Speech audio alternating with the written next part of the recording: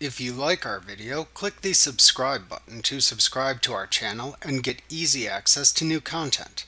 To see our full suite of ad-free video courses and training materials, visit us at teachucomp.com. You should always enter bills into QuickBooks as soon as you receive them.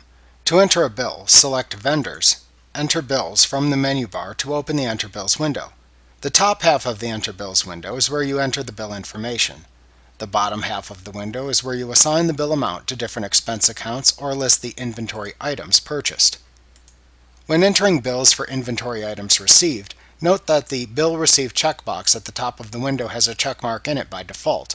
You should only clear the check from this checkbox if using QuickBooks for purchase orders and inventory and you want to record items you have received but have not been billed for yet.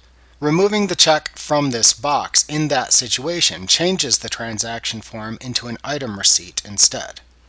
When entering a bill, select the name of the vendor that sent you the bill from the vendor dropdown. Ensure you have entered the date on which you received the bill into the date field. Enter the bill's number into the reference number field. Then enter the amount of the bill into the amount due field.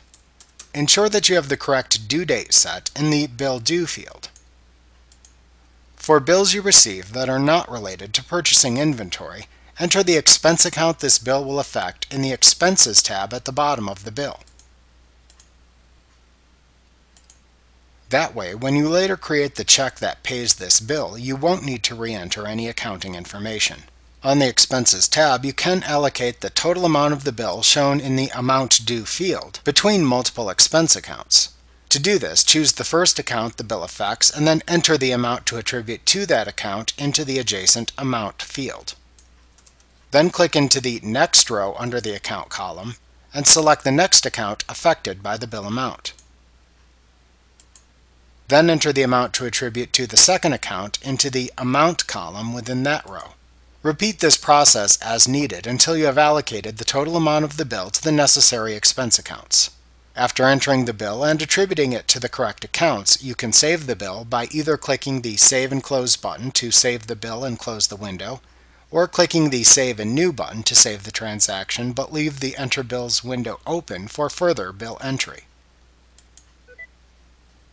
Remember to click the subscribe button to see more of our videos. Get ad-free courses at teachucomp.com.